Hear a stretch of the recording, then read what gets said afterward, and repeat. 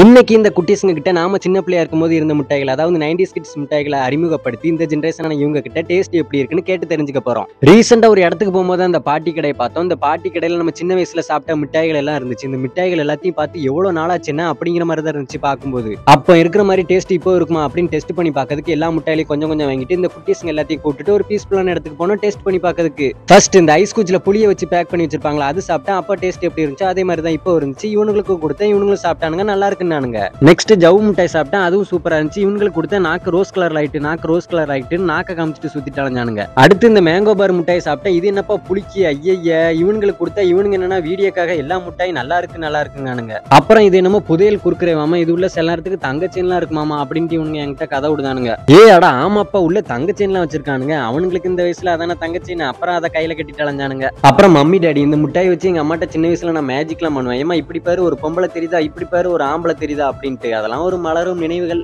இப்போ நினைக்கும் போது என்னதான் சிரிப்பா இருந்தாலும் அதெல்லாம் ஒரு அழகான தருணங்கள். நீங்களும் இந்த மாதிரி பண்ணிருக்கீங்களா? பண்ணியிருந்தா கமெண்ட் பாக்ஸ்ல கமெண்ட் பண்ணுங்க. நெக்ஸ்ட் ஆரஞ்சு முட்டை இந்த மிட்டாயெல்லாம் ஸ்கூல் படிக்கும் போது டவுசர் பாக்கெட்டுக்குள்ள போட்டுக்கிட்டு ஒன்று ஒன்றா எடுத்து சாப்பிட்டுக்கிட்டே இருப்போம். என்ன நான் சொல்றது உண்மைதானே? நீங்களும் அப்படிதானே பண்ணீங்க? கமெண்ட் பாக்ஸ்ல கமெண்ட் பண்ணுங்க பண்ணியிருந்தா. இந்த முட்டாய் சொல்ல வேண்டாம். ஆப்வியஸா நல்லா தான் இருக்கும். அப்புறம் தேங்காய் முட்டை ஐயோ இந்த முட்டையில எனக்கு ஃபேவரட் ரொம்ப பிடிக்கும். அப்போ ஒரு ரூபாய்க்கு நாலோ இல்ல ரெண்டோ கொடுப்பாங்க. இப்போம்லாம் ஒரு பாக்கெட்ல ஒன்னே ஒன்று போட்டு ரெண்டு ரூபாய்க்கு கொடுக்காங்கப்பா. அதுவும் ஒன்னே ஒன்று கொடுக்காங்க. ஆனா டேஸ்ட் அதே மாதிரி சூப்பரா இருந்துச்சுப்பா. அப்புறம் இந்த குர்குரே இப்போம்லாம் லேசு பிங்கோ வந்துட்டு அதுவும் அஞ்சு ரூபா பத்து ரூபா ஆனா இந்த குர்குரே ஒரு ரூபா தான். அதை அப்படியே கொஞ்சம் கொஞ்சமா எடுத்து சாப்பிட்றத விட மொத்தமா கையில போட்டு வாயில போட்டோம்னா செம்மையா இருக்கும் சாப்பிட்றதுக்கு. அப்புறம் இந்த மிட்டாய்கள்ல எந்த மிட்டாயெல்லாம் உங்களுக்கு பிடிக்கும்? நீங்க இந்த மிட்டாயெல்லாம் கடைசி எப்போ பார்த்தீங்கன்னு கமெண்ட் பாக்ஸ்ல கமெண்ட் பண்ணி விடுங்க.